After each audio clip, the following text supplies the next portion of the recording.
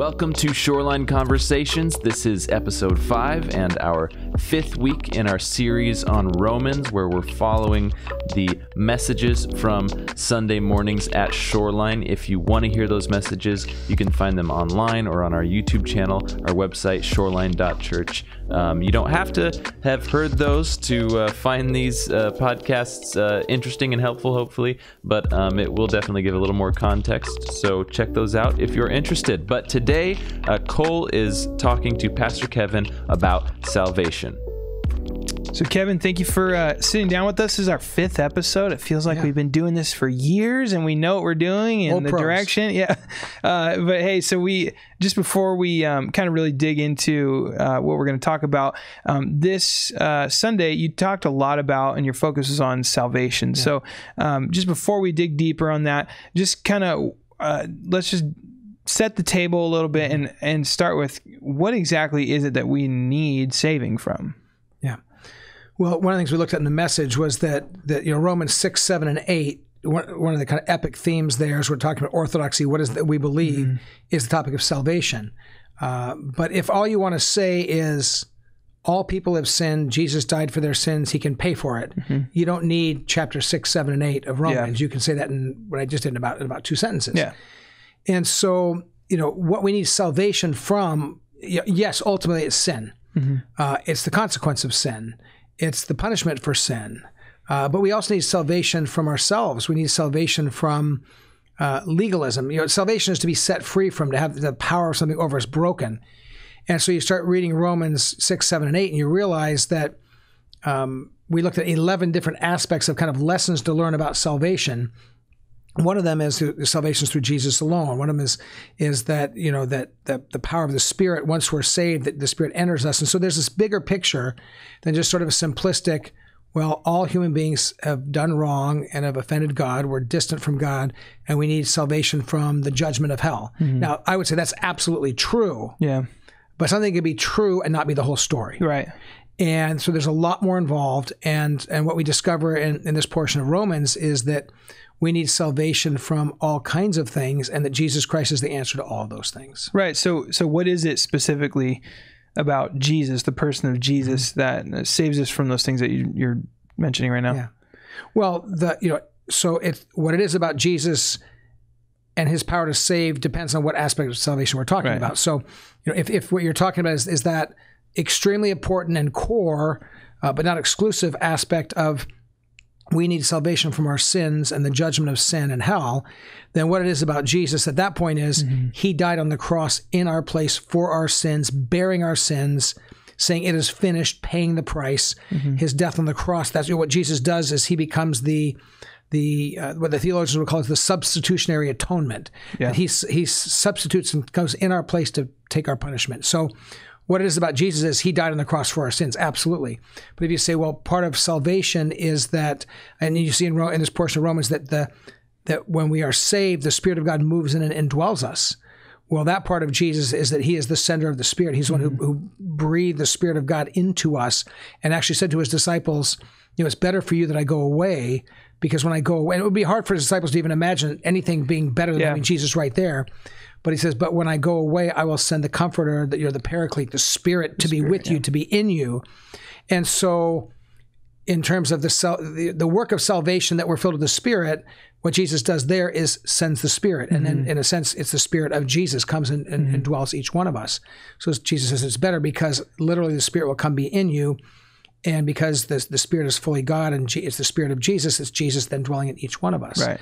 Um, And so if if it's it's you know shame and guilt that Romans you know Romans six seven eight also deal with the issue of the shame of guilt and condemnation. We're saved from shame. We're saved from guilt. Well, how does mm-hmm. Jesus do that? Well, He's the one who pays the price and bears our sins and washes them away, so that we can look and say, you know, like the Apostle Paul says, there is therefore now no condemnation for those who are in Christ Jesus. Why? He took our condemnation. Mm-hmm. So if you're talking about you know salvation from guilt and and you know being saved from and delivered from guilt and the weight of guilt it's the fact that Jesus took the the guilt for us Right. if it's salvation from powerlessness into being powerful. It's that he sent the Holy Spirit. So, but all of these things are functions of Jesus' work through the cross. But it's just it's it's multifaceted. It's multidimensional. And if all if all we think about is well, I've done wrong. I'm guilty. I'm sinful. Jesus died. I accept him. Now my sins are gone. I get to go to heaven. Mm-hmm. Um, all those things are absolutely true, but there is so the nuances and the beauty and the power and the glory of his saving work is is really truncated and limited when you think of it just in those terms. Right. So how so just kind of moving forward a little bit, how how is that is is there a reality to um, you know the process of sanctification, becoming more like Christ and mm-hmm. and uh, yeah, becoming more like Him? Is there is that also in this? Is that involved in any way? Because I'm hearing like, you know, I know a lot of Christians that that would would say like I've received Christ and I, I, I believe Him to be my my Savior, my, the mm-hmm. Lord over my life. He died for my sins, but there's still this there's a constant reality of guilt and and and uh, frustration over this the sin the the sin that, that Paul talks about like I, I, I do what I don't want to do and I know you know yeah. and I know better is that like a different because that's a different facet of of like the importance of Jesus and salvation yeah. is that like a is it just part of the process of sanctification yeah. or is that well, probably our inability to fully understand the power of the saving work yeah. of Jesus doesn't make it any less powerful. Yeah, um, I think I'm unable to fully comprehend almost anything. I've been married. I've been married for 36 years, and if you think I got my wife figured out, uh, I don't. Um, I've driven a car since I was 16, but if something broke down, I'm finding somebody smarter than me to fix.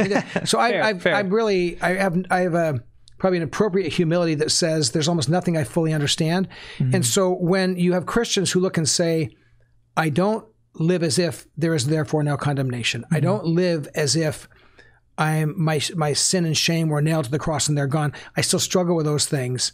Um, I think that's part of the, our human condition. Right, right. Our inability to fully apprehend and receive and live in that doesn't mean it's not real. Mm-hmm. It doesn't mean that it's not fully uh, fully resolved in the work of Jesus Christ on the cross. What it means is we've got to learn more and understand yeah. more.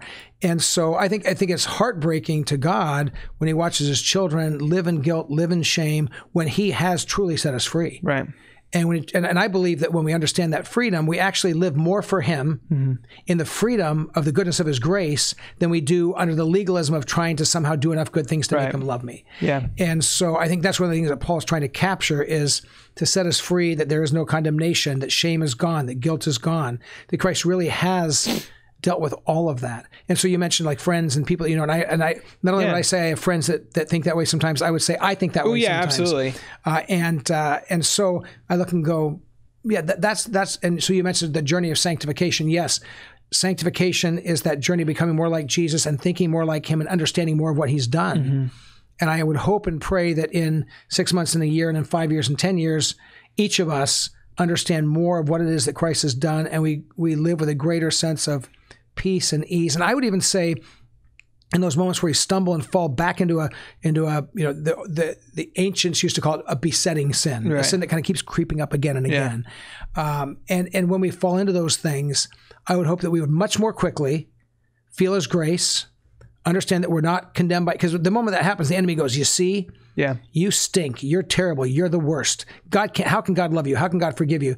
And Jesus is saying, No, you're fully forgiven. My grace is sufficient. Amen. Get up, walk with me again. Right. And if we grew up in a in a church tradition where we have you know penance and you have to do so many things to prove yourself right again, right. Um, then we're like, okay, maybe in, in, in, a week or two weeks or in a month, if I can be good enough for long enough, then I'll feel like I can approach God again. And right. God says, No, I'm here. My arms are open right now. Mm-hmm. Let it go. Follow me. And that frees you then to then walk with Jesus and not be entrapped by the snares and the lies of the enemy. Right. Yeah. Because it it just sounds like there's a lot more to this concept of salvation um, and the reality of salvation than just your your your ticket to heaven. I'm, yeah. I, have gotten yeah. in. I, I, I I click subscribe and I'm good. And like I'm gonna get all the notifications and I'm good. But uh, you know, is there is that the danger of mm-hmm. kind of oversimplifying the idea of salvation just because I I don't I don't really I don't I don't hear a lot of uh, discussion or or, or um, talking about these other processes of of mm-hmm. of salvation yeah, and yeah. and growing more like Christ to even to the point of saying much more quickly to the feelings of guilt or Mm-hmm. or um, uh, shame of a sin, or th- that we've moved past like this, moved past that, and and you're you're more quickly able to say, no, I'm forgiven. Yeah. He's washed me clean, and I can move on from this, and I can grow because of this. Yeah, Cole, there is a danger if all we think about salvation as being is, well, if I I've done some wrong stuff, God's not happy about it. I agree with that. I can I get it. I see that. So if I just say a quick prayer and say I'm sorry to God, Yeah. I'm done with it, and then one day I'll go to heaven. And between now and then, God's not really part of my life. Uh, and and Dietrich Bonhoeffer, uh, the the great preacher and kind of activist in the time of, of uh, Nazi Germany and, and Hitler's power, he stood he stood up actively against that. Uh, and he wrote a book called The Cost of Discipleship, and he talked about cheap grace, and, and cheap grace being the sense that, well, because because God's forgiven me, I can kind of do whatever I want. This is what Paul is addressing in Romans chapter 6, uh, at the beginning of Romans chapter 6, where he says, Should I continue in sin that grace may abound? People were saying, Well, okay, when I sin, God forgives me. So I'll just keep on sinning because forgiveness is good and I like that. So I'll sin, I'll get forgiven, everyone's happy. And you know, when Paul says, "Should we do that?" He says, "He says, may God forbid it. May it never be so." He uses the strongest uh, negation in the in the Greek language to say, "May it never be so." Absolutely not.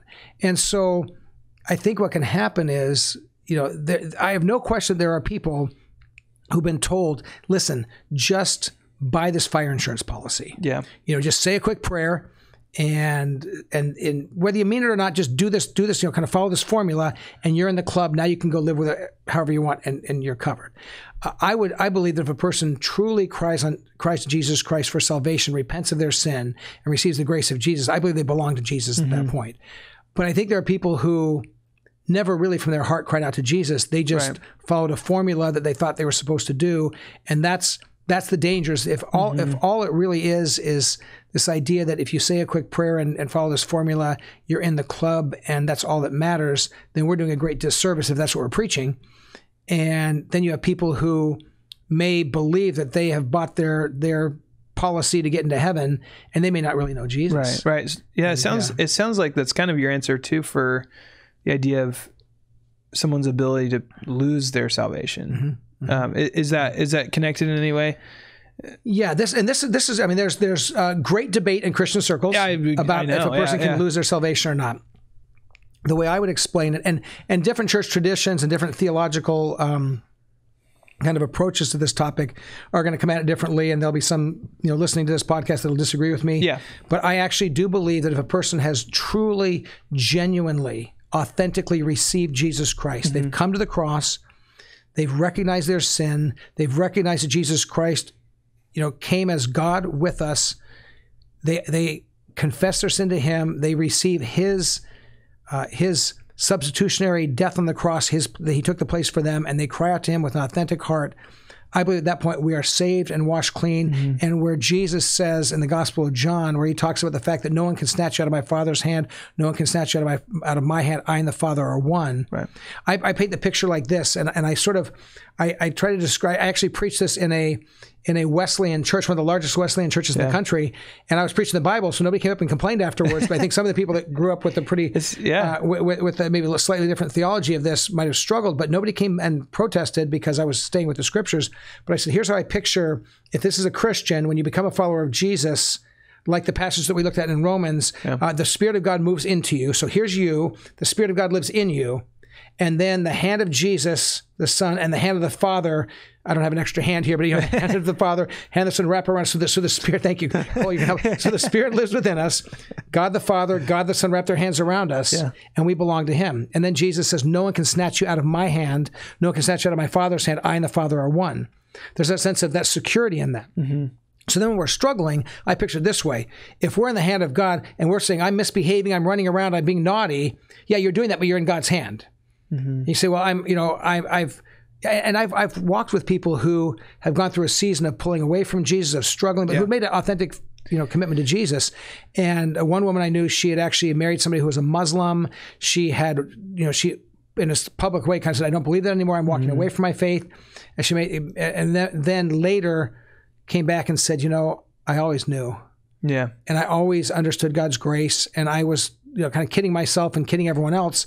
But but I, she had, I think she had come to an authentic faith in Jesus Christ, and the Spirit of God never Yeah. let her go, never left living That's within so her. But she struggled that whole time. Why? Yeah, but why fight that? Like, if you if you have that internal, like, Yeah. I always knew. Yeah. And I'm not like in, in any way condemning that. Yeah. I, I just I know that's an internal struggle for for that individual. But Yeah. that seems so strange to like Yeah. fight that and push back and seek another option when you just felt, feel like, oh, I know this to be true, but Well, it probably goes to what the Apostle Paul says. You know, the very thing I don't want to do, I do, and the thing Yeah. that, that's our, our human nature. This is why one of, one of the points in the sermon that I made was that that even when we're saved doesn't mean we no longer face temptation. Mm-hmm. That Jesus Himself was tempted, and He was God with us. And you read Matthew four, Luke four, you can't escape the fact that Jesus was tempted. He just didn't give in to it. He didn't yield to the temptation. Mm-hmm.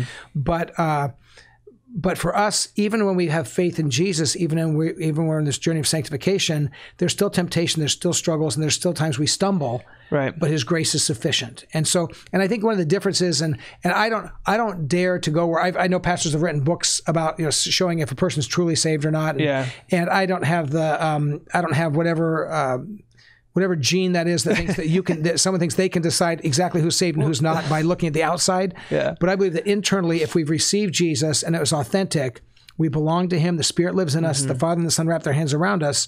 And even the greatest times of struggle, uh, we we don't lose our salvation. We don't run away from God. We may struggle. We may push back, but God does not let us go. yeah. And uh, and some people say, well, then you're then then how do you know? You, well, you'll know the fruit of it later, and later on you look at the life, you know if it was real or not. Right. I, I'm not going to try to figure all that out. Yeah. But I do believe that the scriptures are clear enough that if a person truly has faith in Jesus Christ, they belong to Him. Right. And not only can no one snatch us from the Father's hand, we can't snatch ourselves from the Father's Mm-hmm. hand or from the Son's hand. Yeah. We can't drive the Spirit of God out of us uh, if we've truly come to a point of salvation. Right. That's my sense from my understanding of Scripture. I have, I, I need to say, I have dear friends who I love and respect, who come from a different stream of looking at things, and and I believe that they're biblical. They love Jesus, and they will say, no, I think a person can become a Christian, lose their salvation, backslide. I, can I tell you a danger with that? Is that I think when you believe that, you spend a lot of time uh, going, "Am I saved? Am I not? Is what is what I did big enough and bad enough that I lost my salvation? So mm-hmm. I got to get resaved every time I stumble. What if I believed and then I lost my salvation and then something happens and I die and I didn't get my salvation back? Boy, the level of insecurity. You know, when, when Paul says there is therefore now no condemnation in Jesus Christ, when he says that we're set free from from sin and from the shame of sin, mm-hmm. I think people like that can end up living in a lot of shame, a lot of sin, a lot of fear, a lot of uncertainty instead of the confidence of the work of Jesus. Yeah, I wanted so I wanted to go back to something you said that it it kind of uh, struck me. It's interesting, you know, you know some pastors or some some authors that have kind of you know tried to establish this. Um, I, I guess uh, a way of understanding if someone said yes truly or not. Um, but where does so like I, I having heard where you stand on that, where does accountability fall Yeah. in that? Because I feel like that's a, a, a thing that we're called to, right? I mean, we're called to to uh, be accountable for one another as we come into this family of Christians. Yeah. So if someone makes that claim that like I, I've received Christ, but then there's a period where they're like stepping away. Yeah. I mean, does that have to be like a personal invitation, or is it like what does that look like? I think when we love Jesus and we love each other, we're going to do those things. We're going to ask each other. Uh, and so I've, you know, I've had many friends along the journey uh, who've been committed Christians, who've had times where they struggled, behaved in ways they shouldn't, and I've loved them enough to Mm-hmm. point those things out, to ask them the hard questions, to keep them accountable, and they've loved me enough to do the same for me. Right, right. One of the reasons we're afraid to do that is we know that if we do it to someone else, they're going to do it to us. Well, wait, hey, I noticed this in you. Yeah. And so it's not the most attractive thing to put ourselves in that kind of place, but it's a good thing. I think it's actually a good thing in the community of God's family uh, to ask those questions in the same way that if you saw if you saw someone you loved and cared about walking into traffic, and I, I get a chance to travel in different parts of the world, and there's parts of the world where the traffic comes from the opposite direction. And you can't tell you how many times I've been with somebody who it looks the wrong way, sees no cars, and I'll grab and go, "Oh no, we're in Ireland," or Yeah. or, and and, and the, boom, a car comes by like Yeah. this. Well, I could say, "Hey, that's not my business. I don't want to. I don't want to." And Right. bam, they can get smacked. So I think that walking out of God's plan is not the best way to live. It's not. It doesn't lead to the greatest joy, the greatest peace. Uh, and so I think when we see things in ourselves and others, right. asking those questions and and and you know we both know people who say well, I I received Jesus but there's there can be you're looking there's like nothing Yeah. in their life in their behavior in their countenance in their what seems to motivate them that even seems to reflect Jesus at all I think at those points it's fair to ask you know to ask in our own hearts maybe to say to them you know "D- do you really do you really know Jesus? Yeah. Because if you really know Jesus, it seems like there's going to be fruit of that salvation. It mm-hmm. seems like there's going to be a changed heart and your desires will change over time. What I'm cautious about is being the one who, anytime someone doesn't behave exactly like I think they Right, should, right. I get to be judge, jury, and executioner. Right. And that's and by the way, the, some of the books I've read aren't people that I know personally, but I've read books of people who I feel like they they do feel very comfortable being the judge, jury, and executioner, Mm-hmm. and they can decide exactly what behaviors and exactly what things reflect if you know Jesus or not, and if you're not doing this or you're doing that. And then now we're going back into the earlier chapters of Romans. too. It's the legal Yeah. exactly. Now Yeah. we're going back into the the legalism. Yeah. And that's that's a dangerous place to be. Totally. Yeah. I, I, I I think it's too uh, something that you said that I, I just feel so much resonance with is that with accountability, the concern of, of like, Hey, that strikes me as something I want to talk to them about, but man, I would hate for them to ask me about this. Mm-hmm. Yeah. But also another thing that I, I personally really struggle with too, with that is, is not, not inconveniencing, but, but being uh, presumptuous and rude and Yeah. like I have this like over cautiousness about um, being kind and gentle Mm-hmm. Yeah. and and um, honestly not wanting to be in awkward conversations with Yeah. people and Yeah. and so I wonder like is there something you know on a on a little more practical side Yeah. you care about that person the person Yeah. that is looking the wrong way because they're in Ireland and they're Yeah. not paying attention to the, Yeah. the, oncoming traffic Yeah. you you care about that person, Yeah. but you don't want to grab the wheel and yank on it, Mhm, mhm. but you want to give some, have some way to like reach out to them as a Yeah. friend, as a as Yeah. a human to human. Yeah. Like, is there some kind of practical thing? Because it can't be just this hard question and just like slam it down on the table and like tell me what you think. Yeah, I think it's about it's about paying attention. It's about loving people. It's about trying to extend grace. I remember one of the first times I was a fairly young Christian. Uh, I'd been a Christian for probably within the first year, year and a half. And there were these three guys that were leaders in the church ministry that I was part of. And I was in high school still, just almost just finishing high school. And Right. These are old guys; they're college students. Oh. They lived, they had their own apartment, and uh, and so they were all in leadership in this church I was part Yeah. of. And these guys were were, and I'm going to try to put them in the right words. These guys were disgusting pigs uh, when it came to to physically the way they kept their house. Okay. I mean, they would have cockroaches in the sink. They they wouldn't wash dishes for like a week. They would pile stuff up. They wouldn't even rinse the dishes. It's just it was disgusting. And what they would do is about every week, week and a half, they'd invite four or five of the young girls from the youth ministry over to their house and ask them to serve Jesus by cleaning their house. And it and it It worked? It, it tick, oh, it, every time they, they would they, would- they would they would guilt they would guilt and pressure these young girls into cleaning this disgusting house. Most of the girls wouldn't come back a second time, but they'd find some other new young girls and invite them over. Well, these are cool. These are great godly leaders, and and they can, yeah, come on to our house. We're gonna you know have a Bible study or we're gonna have a prayer time, and they do that, and then after say, hey, listen. Um, we haven't had a chance to clean our kitchen. Would you guys just serve us? You know, we're so busy be, doing ministry and serving the Lord. And it was just, and it was disgusting on every level possible. It was disgusting spiritually. It was disgusting socially, relationally, um, Physically. physically. It was just, it was just disgusting. Yeah. So I saw. So the first time I was over there and saw this happen, I asked somebody, "Is this?" I said, "That's why would they do that?" And they, and they go, "Oh no, that's like a whole deal. We do it every every every. We just know if we wait a week and a half or so, we invite them there. You know, they'll do that for us." And so. um so this was one of my first major confrontations with three guys who were leaders over me in this ministry, and I wasn't gracious. I wasn't. I wasn't kind. I wasn't. Uh, but I just. I just told them, "You guys are." Um, I was. I was young. I wasn't real sanctified. I, I just went after them, and I said, "This is disgusting. This is ungodly." Uh, and I just let them have it, and they got angry at me, and they kicked me out of their house.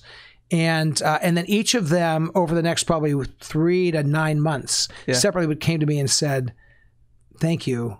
Um, we needed a we needed a spiritual kick in the in the behind. We needed that. But at the time, they at the time I got excluded from things that they would invite people to because I was a jerk. Now I probably handled it in kind of a jerky way. Yeah. And looking back, I probably could have thought about it, maybe written a note, asked them a couple questions, got perspective, and I just I just I was so mad I just let them have it. Yeah. Um, and my my you know, but here's the thing: once I had done that with them, they felt very comfortable when they saw things in me Yeah. to yeah. point them out in me. So you kind of Right. mentioned earlier, and I had mentioned before that that, Yes. that- so the danger is when you say we're going to move to that level of community and that level Mm-hmm. of Christian fellowship, that we will.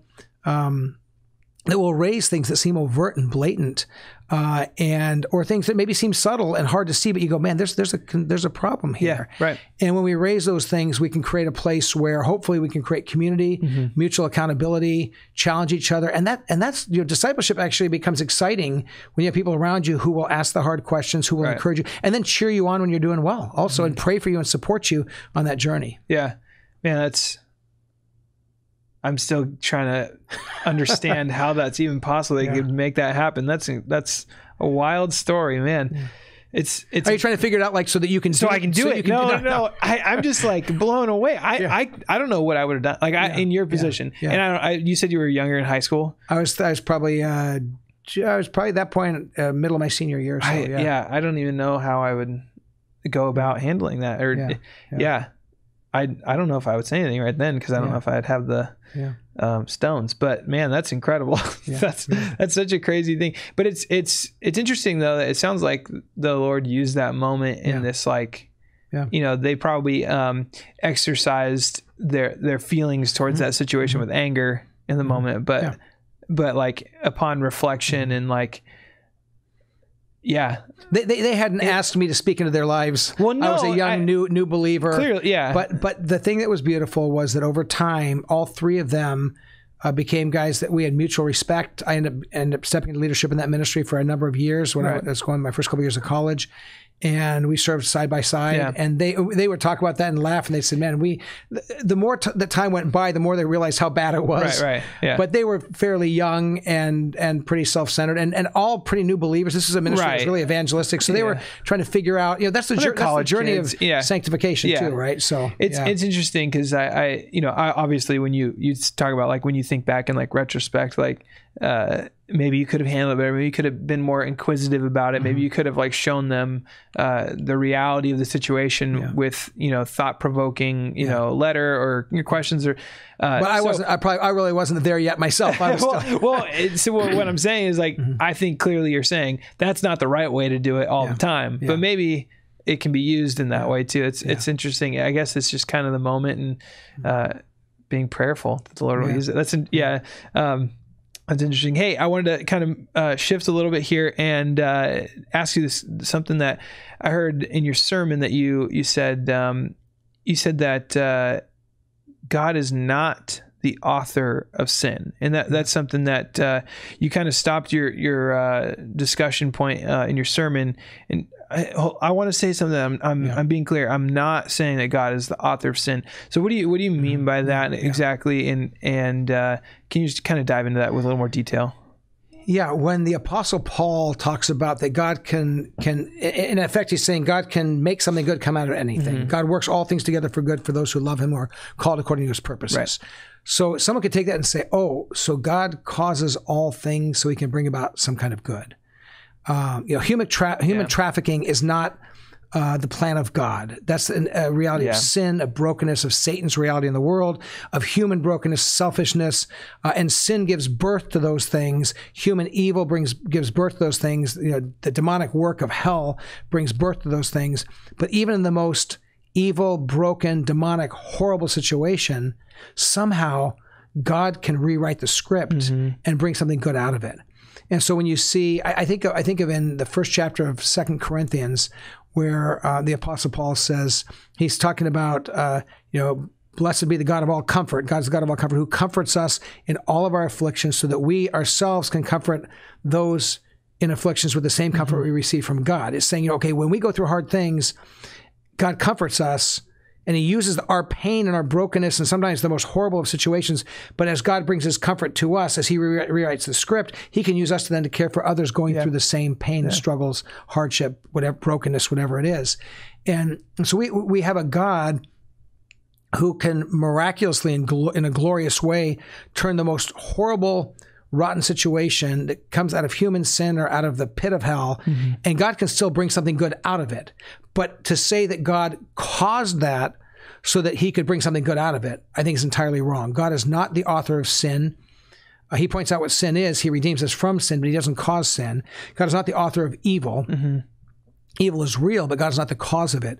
But when there's sin and when there's evil, God is the one who, out of the worst situations that seem hopeless and empty, God still births things that bring him honor and glory Yeah. and good things out of those. And I think all of us could look at our own lives and see something that that we experienced or someone that close to us experienced that somehow out of the, the worst of things that that just came from the absolute brokenness of humanity, the reality of sin and the pit of hell. Mm-hmm. And you go, but somehow through that, God did something redemptive. Yeah. And, and you, you, you'll hear people say, you say to people, when have you most experienced the presence of God? Oftentimes it's through the most hard and broken of places and Yeah. times. God draws near. He's present even then. He's not causing those things, but he can bring, he can rewrite the story and bring something good through those things. Right. Yeah. It's interesting how people can have kind of a uh, this view of God like it's like a Munchausen's by proxy kind of thing, where it's like uh, I, if you read the scriptures and you hear this good God, and uh, I, yeah, it's it's tough to justify that view of of. of of a God that you, the God that you see in scriptures, uh, it's interesting. But um, uh, yeah, can you talk just uh, a bit about just how receiving the grace of God and that you've been talking about in your sermon, um, receiving the grace of God and salvation through Jesus are actually um, something that really pulls us together uh, as a family. I, I, I I was hearing that and I was just feeling this how right now with everything that's happening uh, we're still in this situation with uh, covid and and just the everything that's gone on this year um, just really needing uh, you know you hear it all the time. We need community. We need connection. We need you know and I, I think there was something that you kind of touched on briefly in your sermon um, that that really uh, resonated with me and made me feel like, man, I, I would love for Kevin to go in a little deeper on that with this idea that again that when we receive grace, when we receive salvation, that through Jesus we can actually be uh, a family. We can be connected in a different way. Well, this this is the portion of Romans where the Apostle Paul talks about the fact that God is our Abba, Father, a very intimate Mm-hmm. name for God, uh, and that we are heirs, Right. which means that we are children of God, co-heirs, uh, that we have, you know, we have this connection that whether we like it or not, we have. And so I'm, I grew up in a family with five kids. And uh, though I love them all, I didn't get to choose any of my siblings. And in the family of God, we also don't get to choose our siblings. We're part of a family. And and you had mentioned this unique time in history where there is so much tension, so much conflict, so much, uh, for many people, an ability to even have a conversation Yeah. around political uh, convictions, around social issues. Uh, and that's heartbreaking. Uh, if, if, and I, I've been saying to our congregation on a regular basis, if anybody in this time of human history and in this time of American history, if anybody's going to model what it looks like to uh, to disagree and love each other, it's going to have to be Christians. Right. And if Christians can't look and say, uh, you know, I disagree with you, I don't see it that way, but I love you, and let's keep walking together, let's talk this through this work. If Christians can't pull that off, I'm not sure who's going to. Right. And so I think as we're family, we need to learn to get along because we are family and to get along because it's what God wants for us. Yeah. And you know, and I think about uh, our our culture and our world where almost anything seems to be a reason to divide, Yeah. to disagree, and Yeah. to walk away from other people. And as Christians, I really believe that's not an option. Uh, we're going to spend forever together. And so we're going to have to learn how to be humble, to listen, to listen well to others, Yeah. um, to, to I had a, a pastor who I worked with years ago who had this great saying: "We have to agree to disagree without being disagreeable." yeah. And it's, it's a great thought. Is to say, okay, I can agree. I, say, I don't agree with you on that, but I'm not going to be a jerk. I'm not going to hate you. Yeah. I'm not going to become militant. And if there's anything right now, people are militant. People are angry. People are divided. And I think what a great moment in time for Christians to lead the way and say there can be people who I fully disagree with, but I can love and embrace because they're made in the image of God. They're loved by God, and I'm going to love them too. Yeah, absolutely.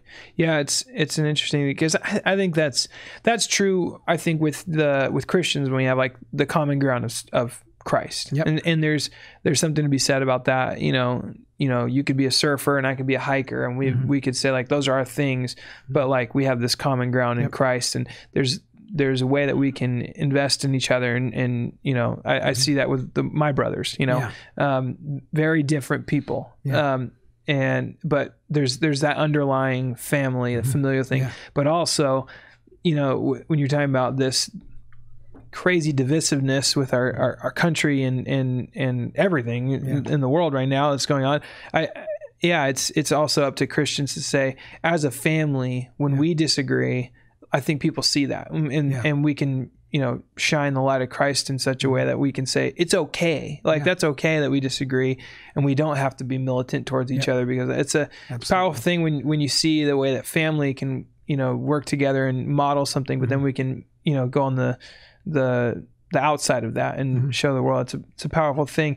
Um, hey, I wanted to just kind of wrap up with something that uh, yeah, it was interesting to me um, when you're we're going through Romans right now and, and and looking at the scriptures and stuff in uh, in this past sermon that you just gave.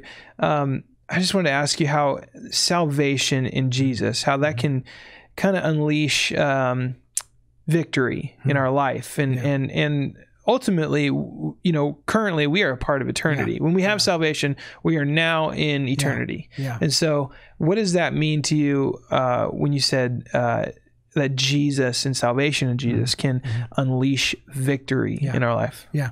Well, I love how the Apostle Paul puts it because he doesn't just say we can walk in victory. He doesn't even just say we're conquerors. He says we're more than conquerors. Right, right. And so I, let, let me read uh, from Romans 8, 37 to 39, as kind of as we're drawing to a close here. Yeah. This, um, I, I love this. Uh, Paul says, In all these things, we are more than conquerors through him who loved us. For I am convinced, and listen to this, listen to this list. I am convinced that neither death nor life, neither angels nor demons, neither the present nor the future, nor any powers, neither height nor depth, or anything else, anything that's been missed, everything in all creation will be able to separate us from the love of God that is in Christ Jesus our Lord. I mean, all these things, we are more than conquerors. That's a declaration of victory mm-hmm. that comes not by my power, but the power of Jesus. Yeah. And I think this is why, as Christians, okay, we talk about this topic of salvation. You come to the cross, you receive the grace of Jesus, you confess your sins, you take his hand, he becomes the Savior, the one who washes you clean, the leader of your life, your Lord. You take his hand, you live for him the rest of your life. Uh, you're, you're living for him and growing in sanctification, not because you want to get him to love you. He already loved you when you were completely lost and broken, but now you're walking with him. And now you are more than a conqueror in what? In all these things, in everything. And so, as Christians, we can walk in victory when it comes to temptation, when it comes to sin, when it comes to broken relationships. We can walk in victory when it comes to divided communities where people won't talk to each other. We can be more than a conqueror. And ultimately, I think what it's saying is over the power of Satan, sin, uh, the deceptions of the enemy, we don't have to give in to that. We don't have to acquiesce. We don't have to um, bow our knee. Uh, and, and you can say, I, I can walk as more than a conqueror. I would add also that living in this world that is becoming, and Romans 1 talks about this downward spiral into sin, it's becoming sin saturated. Well, yeah, you living in Rome, the it's, it's everywhere. You're living this world where, where, where paul goes through those four cycles downward to sin and then finally at the end he says not only do they do these things but they approve of those Yeah. who do them. There's this thumbs up what everything goes. Mm-hmm. and you say as a christian how do you and, and, I, and i think a lot of people are feeling this way. How, how do i stand up for jesus in this world? How do i live for jesus in this world uh, how do I make an How do I make an impact in the in the public school systems that seem to be heading away from this? How do I make Im- impact in a, in a culture that seems to not care anymore? And and and Paul is saying, and the Spirit of God is saying to us, and yet you are more than a conqueror through whatever you face. And I think if Christians live with a not, with a defeated attitude, it's it's destructive. It's damaging. It's, it doesn't yeah. honor Jesus. I don't think we when it says more than the conqueror. It's not like okay, I'm going to beat everybody up because I'm in charge. No. It's saying because of what Christ has done, because of who He is, you walk in that victory at all times, in all things, no matter what. And if we take that kind of disposition with humility, Mm-hmm. because it wasn't us, it was Jesus. But in Christ, we are more than conquerors, that we can walk in that reality. It's both powerful as we go forward, it's compelling to a world Right. that feels defeated and beat up. And they can see it. There's people who actually feel confidence and hope. They don't live under shame and they don't live under law or condemnation. But they, you know, I believe that this is a unique time in history where if we walk in a confidence in Jesus Christ, if we walk knowing that we are therefore uh, that there's no condemnation and we live without shame and yet we're seeking to live for jesus and when we stumble and fall we don't lay there and, and, and mope for a month and try to pull ourselves together we just stand up and say jesus pick me up put me back on my feet like a loving parent dust me off and say Yeah. let's go Yeah. Walk with me. Uh, that's compelling for a world that's feeling pretty beat up and discouraged. And so I, I hope that uh, all those who name the name of Jesus can walk in this more than conquerors Yeah. Uh, attitude that is reflected in lives that continue to pursue Him with all our heart, soul, mind, and strength. Yeah, what a powerful uh, thing to hang on to. You know, as as we're closing, I know that a lot of people are struggling, and Christians included, that that know these things. That have it's you know it's as we were talking the these different kind of areas of, of salvation. I think some that we don't really talk about a lot that people aren't really focused on. That's you know we need to move past that idea that salvation, like oh I had salvation, like I have it, Yeah. I, it's done. I when I said yes, it's over. Check the Um, box. check Yeah. the box, and now I have my ticket, and I'm I'm good. But I, man, it's just a, a powerful thing. I'm now I'm going to be thinking about that a lot more. Uh, It's been uh, it's been good to be in the seat and to hear these things, and it's it's challenging me, and it's reminding me to be looking at my. Uh, my process of sanctification, and we we've talked about that before. This this uh, trajectory that you live as a Christian, and how do how am I growing? And this has been a an interesting um, place as you talked on Sunday and uh, with your sermon, but but also just now listening to you and, and hearing through this these different um, kind of aspects of what true full holistic view of salvation looks like. It's it's given me a lot to think about. So i appreciate that. Thank you for spending the time uh, going through this. Thank you for spending the time and studying romans in such a way that you can share that with us that you can uh, kind of hand that over to the congregation and, and the people who are listening to this podcast and and we can wrestle with these things. I think there's a lot more uh, to to be done in our individual lives as we look at Romans. It's challenging. It's Yeah. it's really challenging. so I appreciate it. Thank you for going through this with us. Thank you for spending time with us today. Appreciate having you. Absolutely. Whether you're watching this podcast on the YouTube channel or listening on your podcast app, make sure to subscribe to hear our weekly episodes. Thanks for listening, and we'll see you next week with another one.